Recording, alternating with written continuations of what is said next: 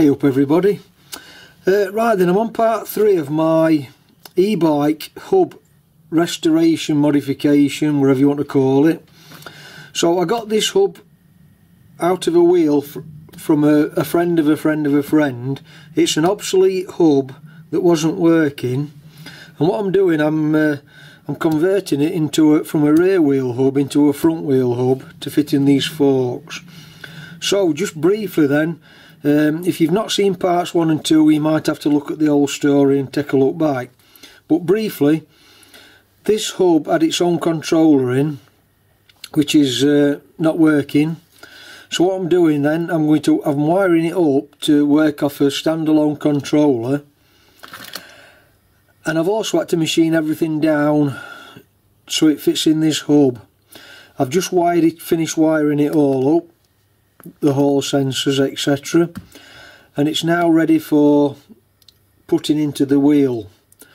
Uh, now this procedure here is a bit risky if you're not careful because when this when this rotor approaches that hub the magnets pull it in and you've no second chance of moving your fingers. So keep your fingers out of the way.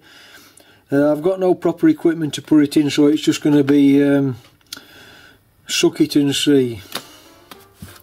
So I'll get the wheel set up and we'll have a look then.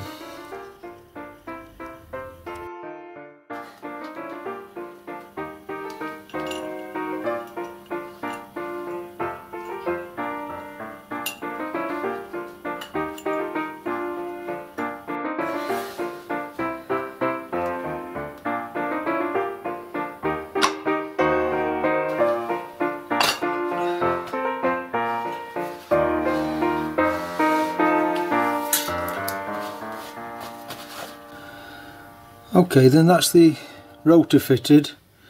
Yeah and you have got to watch your fingers there because once that magnet grabs there's no there's no letting no holding back it goes in straight away. So I've just got the covers to fit and there's a there's an o-ring on these covers. I think once I've tried it I might just take the covers off and put some silicone sealant round just to belt and brace it.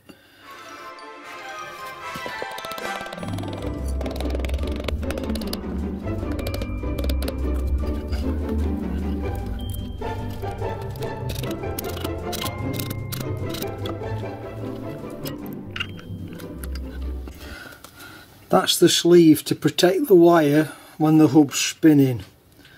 And that'll be tie wrapped I'll put a tie wrap onto that just to bring it up behind the fork there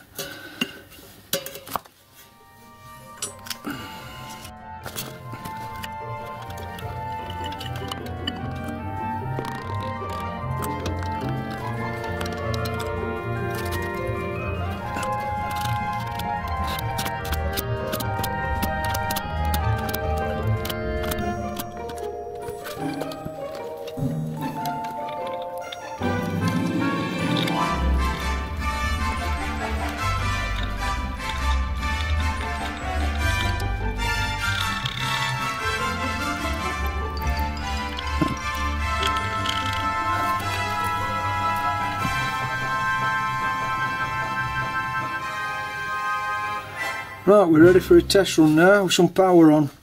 So I'll go and sort some power out and then we'll have a look at it.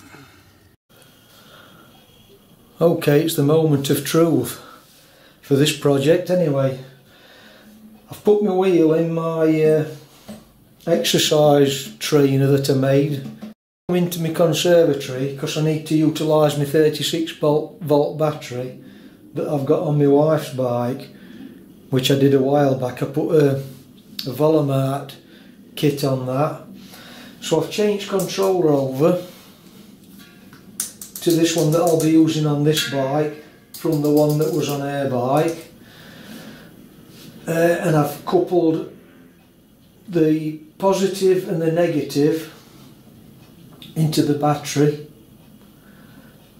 and then my phase wires, these three here, these thicker wires from the controller yellow to yellow green to red blue to black now it may be that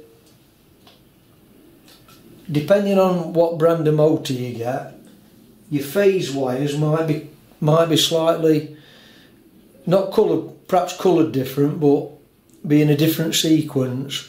So if the wheel don't go, don't be disheartened. Uh, you just have to try different combinations of them wires.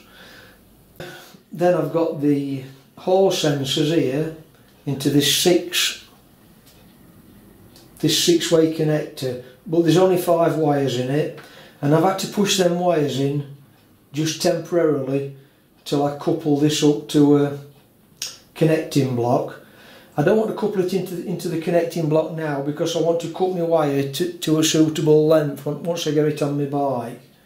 So I've got red to positive on the con red to red on the controller, black to black, blue to blue, yellow to yellow, green to green. So that's just standard colouring that. Again, you may have to uh, alter those three wires round the uh, blue, yellow and green your positive and your negative will always stay the same. Uh, sometimes the wheel don't run properly apparently. It like either sticks and it won't go or it judders and that's because the wires are not in the correct sequence. So I've got it coupled up to this uh, throttle and a stop start switch here and a battery indicator and that's what I'm going to be using on my on my other bike. I've just got to get a pedal assist sensor to couple into it at a later date so we'll try it then.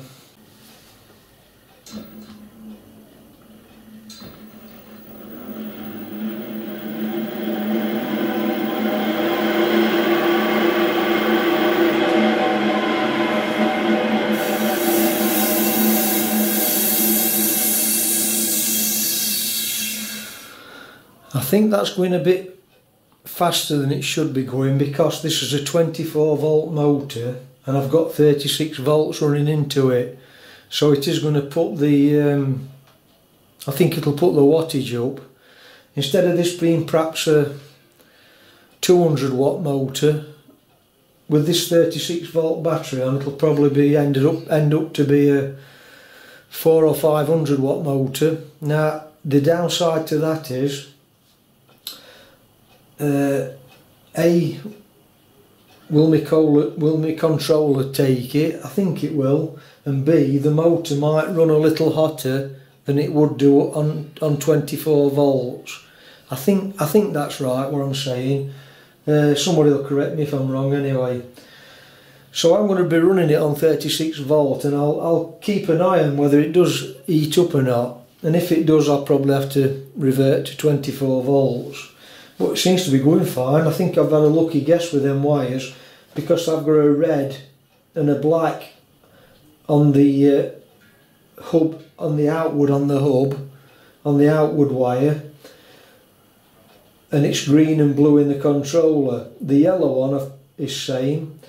So uh, probably just had a bit of a lucky guess there. Maybe if they were other way around it won't, it won't run as smooth or perhaps won't run at all. I'm pleased with that.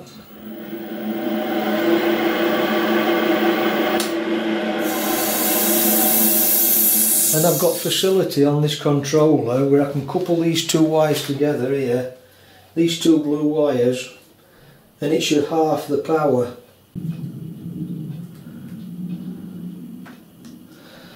That should go at half power now. And I'll incorporate a switch on my handlebars then I can flick from high to low power. So that's not going as fast. So if I can just try to demonstrate, I'll just wedge that in my leg and then disconnect this wire